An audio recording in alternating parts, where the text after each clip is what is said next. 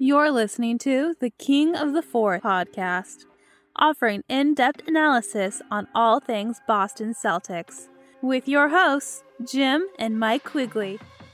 All right, welcome to the last and final episode of season two of King of the Fourth Quarter podcast. Um, happy Father's Day, happy Juneteenth to everyone out there. Um, and you know we're recording this on on father's day sunday the 19th and unfortunately we're not going to have a game seven to celebrate this evening as the celtics um, were defeated in pretty convincing fashion. Um, on thursday night game six against the warriors um, who really over the course of the last uh, two games and half of a quarter really I think outclassed the Celtics in a lot of different ways and outplayed them and just were clearly the better team, the more mentally tough team, the more resilient team. Um, the Warriors are much better defensive team than I, I think I realized they were going into the finals. Um, and they remained dangerous in transition, which we knew coming in. Um, you know, you look back over these last couple games. There's there's a lot to dissect. Uh, I think in particular, um, you know, if you're ranking things that went wrong, uh, you know, you start with Jayson Tatum um, and his inability to really get going and insert himself into the series in any way, you know, that could have been a difference maker. Um, he was virtually no show offensively uh, in game six. Um, you know, I give him credit to continue to play good defense. Um, which he did um, throughout the series. But he uh, he was a virtual no show in Game Six. You know, we can talk about the bench being an absolute no show. They got nothing out of the bench, and everything was needed out of their starting five, and that was just for two straight games, um, and especially at home. You know, you understand that happening on the road in the playoffs sometimes. That does happen to teams. It can't happen at home, and they got nothing out of Pritchard, White, and Williams. We can talk about that. And of course, as always, it's the turnovers. Um, and and you know they were 20 plus turnovers in game six. Uh, you know turnovers in game five. And when the Celtics play like that, it leads to transition. It leads them to getting out of their strength, with is their half court defense. And I think a lot of the turnovers were caused by the Warriors, but they're also caused by just bad offense. Um, lack of spacing or a lack of um, aggressiveness or the right type of aggressiveness or right taking the right shots, the Celtics continued to just dribble into nowhere. I thought at times dribble into a mass of people when they had, I thought, advantages to shoot over the top of some of these Golden State defenders. Um, and I, I guess that gets back to maturity, Mike. And I'll I'll just stick with. I'm going to leave it at this last point. Um, there's a lot of talk, uh, I think, around here about Jayson Tatum not showing the heart or can't be a winner. I, I think that's kind of foolish conversation. I think his track record shows differently. I think what this exposed with him a little bit and with the Celtics team in general is a lack of maturity. Um, he let them get into his head. He let their uh, Andrew Wiggins defense and the Warriors um, championship pedigree, for lack of a better term, dictate uh, what he was doing on the offensive end.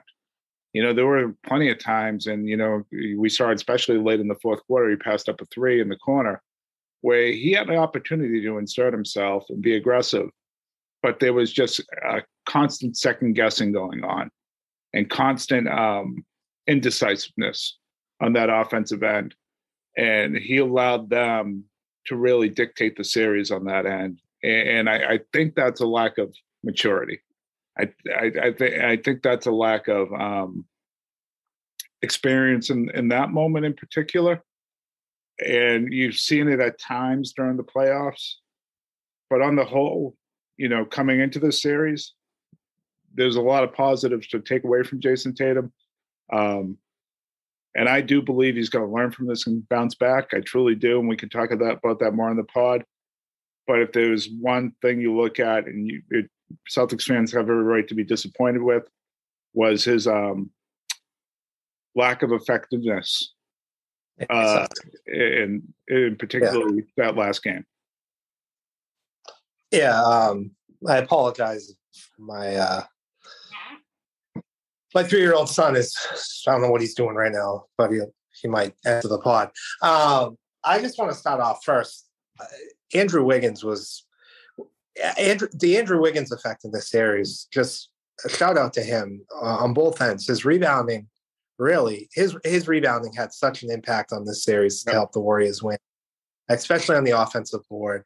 Yep. Uh, his defense on Tatum was really good.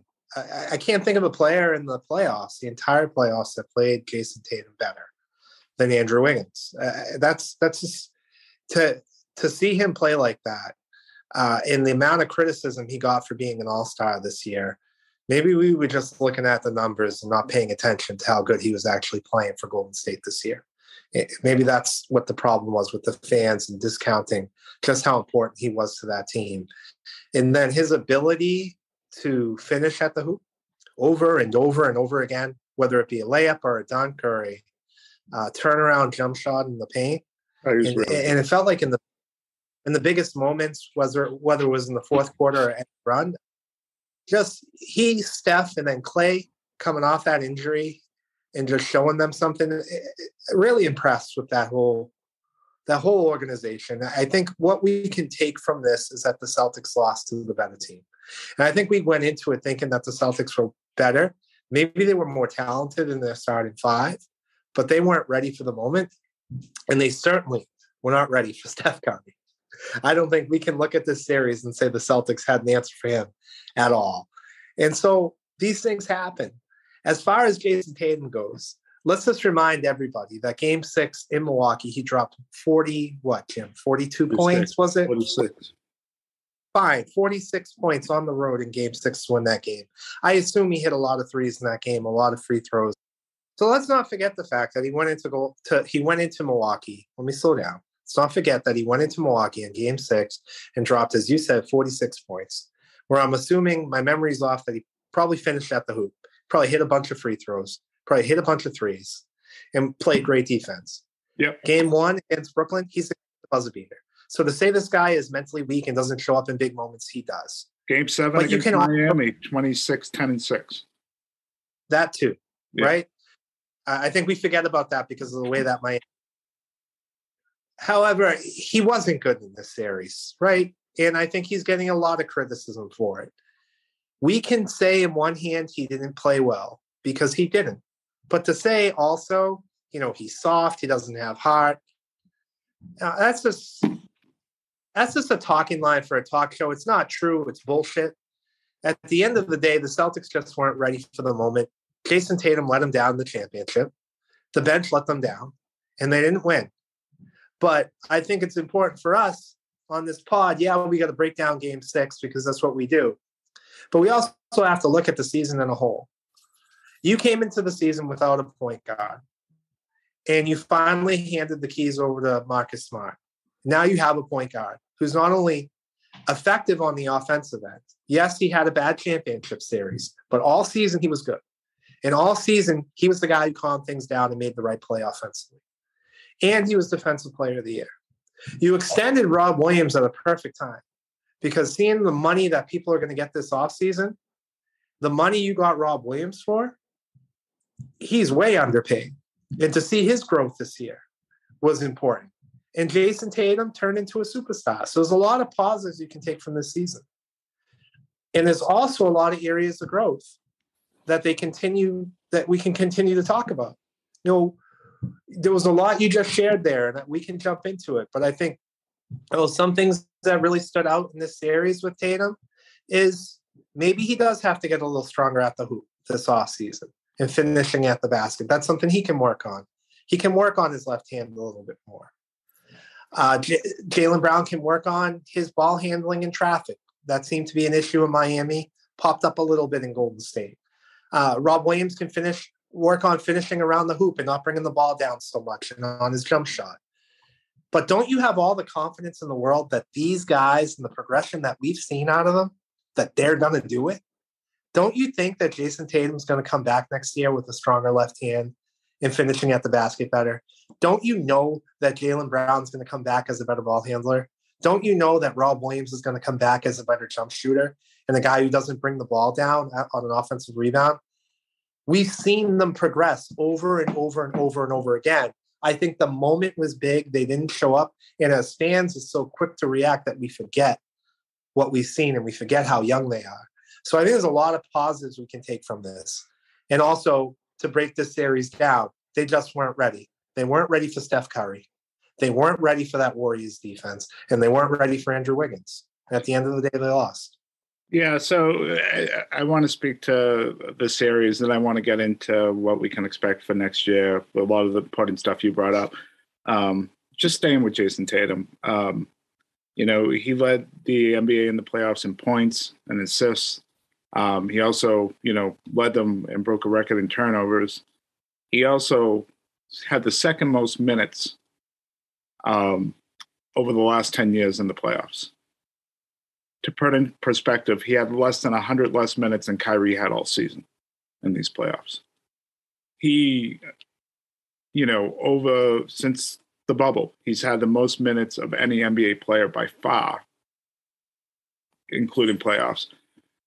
I think this was um, absolutely needs to get stronger at the hoop. There's things that part of his game needs to improve on, and he needs to remember what it's going to take to be a champion. And he needs to have this sour taste in his mouth, which has happened to a lot of guys, by the way. At this age, and I want to hit on him being 24 compared, and actually this was year 23. He turned 24 late compared to other guys at 23. I constantly hear. Well, look what LeBron had to do in San Antonio. I, I, around here they wanted to talk about him and Jimmy Butler. Look at what Jimmy Butler was at 23. He wasn't even averaging 13 points a game. I I I, I think so. I think there was a mental fatigue, a physical fatigue part of this. And Andrew Wiggins was great. The Warriors' help defense is also spectacular. And I think the Celtics got away from switching and finding a matchup that he can shoot over and instead, we're trying to force the action into areas that just weren't there. You know, they didn't have a shot blocker, but they'd have three or four people just waiting for him. And not and Draymond Green's an excellent rim defender, even though not being huge. He doesn't foul and he does it well. Um, and I thought the Celtics made that mistake over and over again. We, we could talk about Jaylen Brown's ball handling needing to improve. Because they did. Yeah. Right and over and over. He, he continued to, at times, just put his head down and go to nowhere. And there wasn't an adjustment made to that. Um, there was a few times where it looked like he would dribble it out, read the defense, and then get something productive out of it. And that in the fourth quarter and third quarter for Jaylen Brown, he was just shooting over dudes. He was just shooting over dudes and making shots, and he was great. But they didn't do that enough. Um, and, and you know they lost, and the Warriors were better. But I, I just look at this as there's a lot of things we can point to. I think the top three are Tatum, you know, getting nothing from your bench, you know, having to play in game five, Jayson Tatum and Jaylen Brown the whole second half after making that come back and not having anyone dependable to come off the bench to pick up any mm-hmm. type of scoring load was huge. And I, and so we go as a player who's had this many minutes, who has this type of defense facing him, who's 24 years old. I do think there was a fatigue factor. People are going to say that's an excuse. I'm not him, so I don't have to worry about him making excuses for himself. I can say what I saw. And I, I think fatigue was well, he, absolutely a factor oh. in what happened. Yeah, I other people are making the excuses for him he hasn't made any. When they no. when he was at the podium, they even asked him about his. I don't have one. Yeah. So I think Jayson Tatum handled it like a man. Um, he knows he didn't play well. You could tell by the way he left that game. You could just tell. He, he just the way he was acting that he he knew. I, I think he's handled things really well. It, it's a great point by you, and this is where I have faith of his immaturity that we saw, like driving into the. I'm talking about immaturity on the court, by the way, driving into a defense, turning the ball. That's mm-hmm. why I have so much faith it's going to get better because he, the way he conducts himself in every other aspect of being an NBA player and his improvement overall shows a maturity, shows that he is a mature kid that is going to learn from this. I mean, we're going to see pictures of him working out in Deuce on a beach this summer, and you're not going to hear anything else about Jayson Tatum. You're not going to Mhm. see him on a boat or a banana boat with six NBA players like LeBron used to do. It's this is all Right? He, he, and who cares if he do? yeah, but I, I mean, this is all you're gonna. I, I think there is a level headedness of this kid that um, y- I, I- think is meant for big things. Yeah, I know. Like I know people like to make fun of him about his obsession with Kobe Bryant, but Who cares? I feel like obsession is real. And you know, the Kobe's mentality was my daily schedule in the off season. It started at 4 a.m. It ended at six. I took a break. I was back at nine. Ended at noontime. I took a break. I was back at two. And Kobe at had a healthy obsession about, or an unhealthy obsession about Michael Jordan. You know, like Yeah. it's all he wanted to. Like, I don't necessarily think that's a bad thing. I don't either. And what I, the reason I'm bringing it up is because if, if Tatum really wants to be that guy, Yeah. and that's what his offseason will be like. Yeah. I, I think, you know, you brought up, you know, there's three things you want to see. I, the improvements we want to see out of uh, Tatum and Brown. I put Rob in there because I do think Rob can still improve into like, I should add him as a factor in this series as part of the. But go on, I'll, I'll hit on that after. um, the bench, and then ownership is my third. I think you need to, as owners of the Celtics team, take a look at the Golden State Warriors and ask yourself, why are they able to stay this good for so long? Yeah, And it's because they spend the money on not apples and apples. So it's not. You're talking about one of the. I think we can hit on this a little more in the, uh, uh, when we talk about improvements to the team, but we're talking about one of the richest men in the world that yeah. owns the Golden State Warriors. So you know, if he signs, he, there's very few guys that going to be able to take on the salary that the Warriors are able to take on. You don't have to spend that much. We just No, have you- to use our team and you know add to the bench and spend into the tax. That's what we're at. Add two more guys to this team. Yeah. Right? That's what we want. Yeah. And you hit on Rob, and um, I think last thing I'll say about the finals, unless you have something else to add, and then we can kind of talk. Um, No, go ahead. I, I, the lack of rebounding. Um, Rob deserves all the kudos he he should get. He he played through, I think, a very painful knee injury. You you heard about up until the finals, he was getting it drained all the time. Then he just said, "Screw that! What's the point?" You know, and he got the treatment and he was he was an impact player at being about 70 to 75 percent. Um and he, he was a deterrent at the rim. Um you know he really helped their half court defense a ton. He wasn't anywhere close to the same rebounder. He wasn't the guy that was getting offensive rebounds and putting it back in all the time and he he was an inefficient to a poor defensive rebounder. You hit on Andrew Wiggins' ability to rebound, and you had Looney and Draymond do that too. A big factor in that is Rob almost being stuck on mud at times because he's working so hard defensively. He just couldn't muster up the the strength in that knee to do what he needed to do defensively and then rebound as well.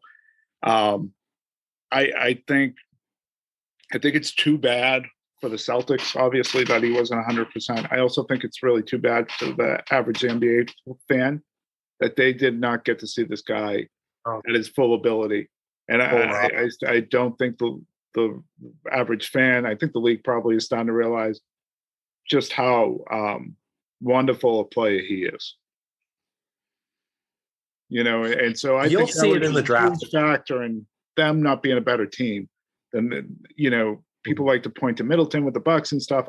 I, I think Rob's injury has really been underestimated both locally and nationally of how much this impacted uh, the Celtics in the playoffs. Yeah, it's a really good point, Jim. I think that fans didn't get to see, like, you know, average, your regular dedicated Celtics fans got to see this with Rob this year pre-injury, but most fans nationally didn't get to see how good this kid really is. I think the NBA is caught up to what he is, and I think you're going to see it on draft night.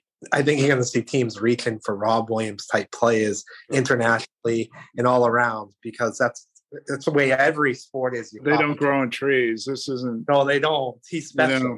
You, know, you don't grow on trees, and the biggest thing with him is what we've been talking about for years. It's it's it's his health and how they maintain that, and how they. You just hope eh, you're afraid of that he's built like a guy that's built to be injured. Yeah, I don't know. I I think I, I would assume he's not going to play in the preseason. I'm going to assume even to start the year. I don't care if he misses the first couple months. I would I would sign centers just to be on the roster so I can sit Rob as much as possible next year. That's what I would do. I I, I would. I mean, I think they can win games in the regular season without him and just manage his minutes, and then the following season. I, I, and I understand that. I, I'm just wondering. So, his injuries the last two years was the turf toe. That isn't a wear and tear injury, and then was a MCL injury where he landed awkwardly. Uh, mm-hmm. These these aren't injuries based off of rest. These are injuries that the reason I'm the course of doing business, and so are we I trying to avoid something you can't avoid? I guess is what I'm saying. No, I hear you. I'm just wondering if he did further damage to that MCL by playing as much as he did in this playoff run. I, I hope not. And what I've read, um, you know, and I did most of the reading when he first got hurt, is that you can come back and play. The question is whether you play or not, how much that MCL sticks with you regardless going forward. How much that injury um, is more likely to be re-injured or hamper your play, right? In, the, in the seasons in the seasons to come. So, eh, like what I read, it wasn't a matter of like, okay, he gets the surgery, comes back, fine. That really doesn't have much to do with what happens later. Um, you're kind of in the same boat. So eh, that that in itself wasn't promising. Um, you know, the window on Rob probably isn't huge. We're probably talking three, four years of really good basketball. What it looks like after that, I don't know. Um, but uh, you know, it'd be great if they could ever have a playoff run with him healthy. The sky's the limit on on this team. It really is. The sky's the limit, and I think this is a good kind of segue. And you've hit on it a ton already. And even without him healthy, if Tatum just showed up, we're probably looking at a game seven. Yeah. I mean, I, I, I get over the fact that Tatum didn't even shoot a free throw in game six. That's how bad he was. Yeah, he was he was really bad. Uh, there was no doubt. Um, but I, I think him being bad and Rob, they also were in this position because they were both so great. And this season, yep. they were 18 and 21 um, you know, we were doing pods where we just wanted them to get into the playoffs, have a competitive round, you know, something to feel good about themselves. Eh, Jimmy, know, I was on pod. We were kind of thinking the Salem was. Yeah. Jimmy, I wanted them to shut down Tatum and Brown so they could get into the lottery. That's I said that on the pod. I was so mad at sick of the team. I was like, just shut them down and get the third star in the draft. I remember when they were at one like four in a row, we did a pod. And um they actually but the, what was so good about those four wins was the way they were actually won and how they were playing. And it wasn't just getting wins. And I talked about catching Brooklyn, and you mm-hmm. laughed at me at the time in the standings because Brooklyn yeah, was like 10 games over 500 or something. I forget the exact number. And then we did a pod and about a week later and they had caught Brooklyn. you know, I mean, that's how quickly, I mean, Brooklyn was collapsing at the same time, but that's how mm-hmm. quickly this thing had turned around. And, mm-hmm. um, you know, they went from 18 to 21 to 51 and 31 in the second seed and two games yeah. away from an NBA championship. Mm-hmm. And I, it was just a tremendous run. It was a lot of fun. It was more dominant than people really, I think, remember or realize before Rob got hurt, games weren't close. No, they were blown. They, they, weren't even competitive um, when he was healthy. Uh, you know, they were routinely going on the road and having double digit leads. Um, and the offense, like you know, half. you talk about Tatum.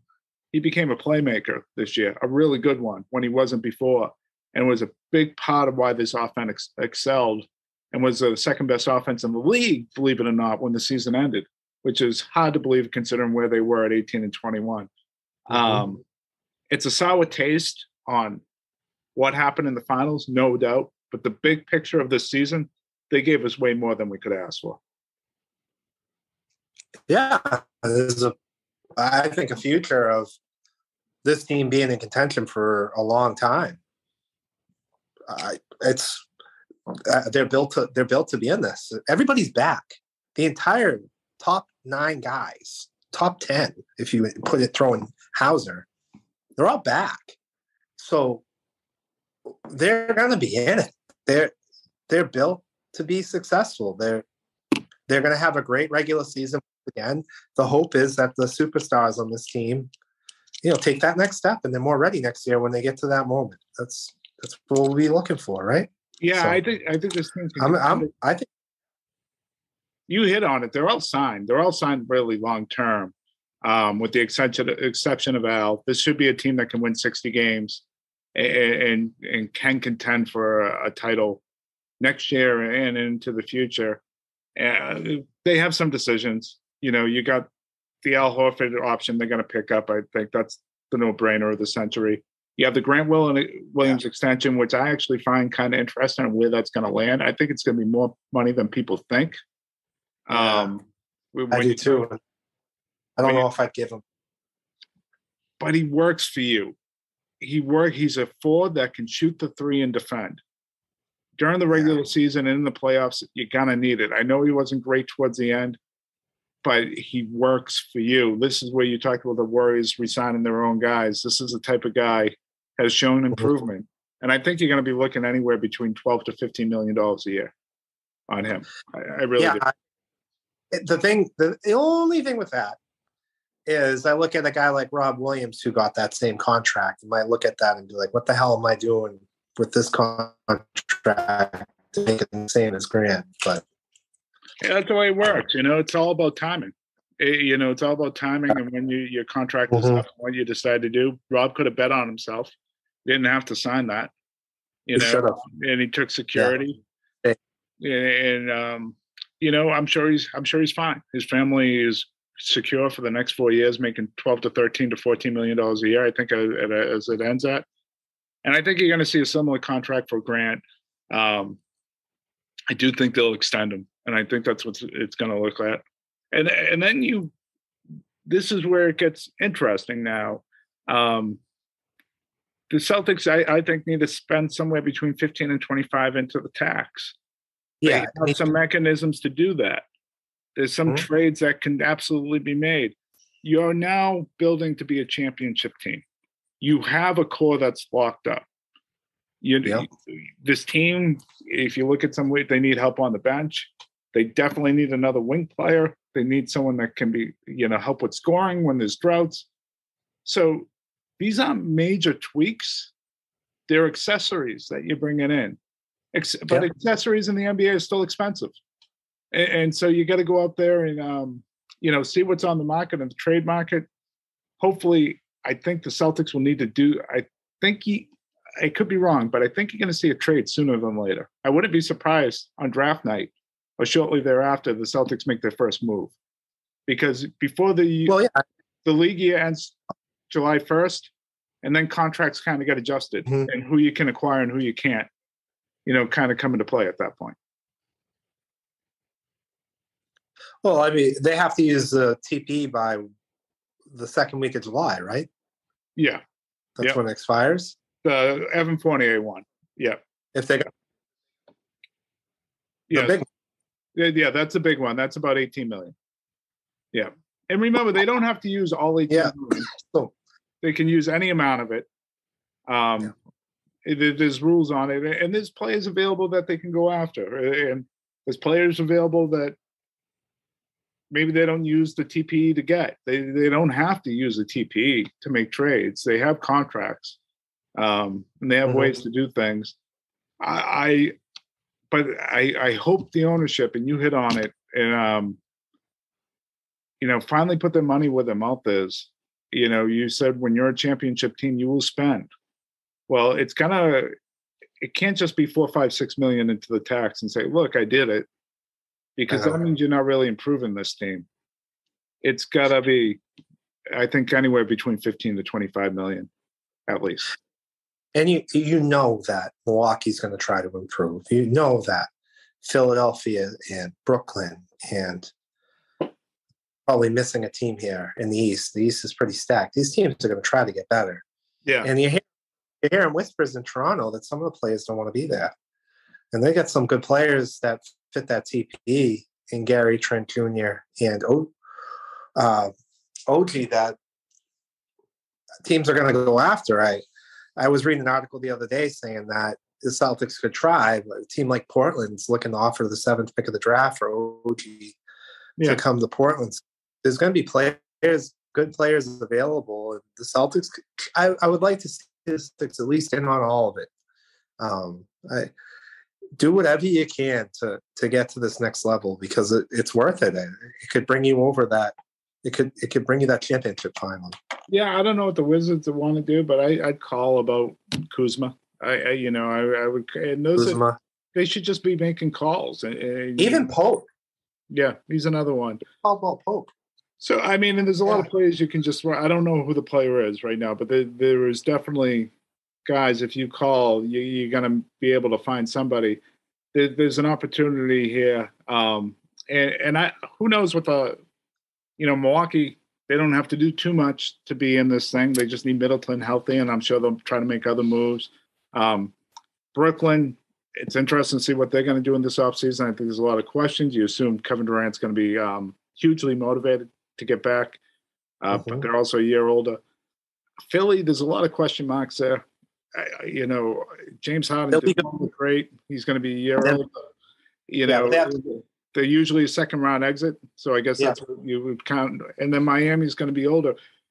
You are set up the best. Uh, you and Milwaukee, those are the two teams that are set up the best to move forward in the East. It doesn't mean it's going to happen, but as you enter this offseason today, you are set up the best.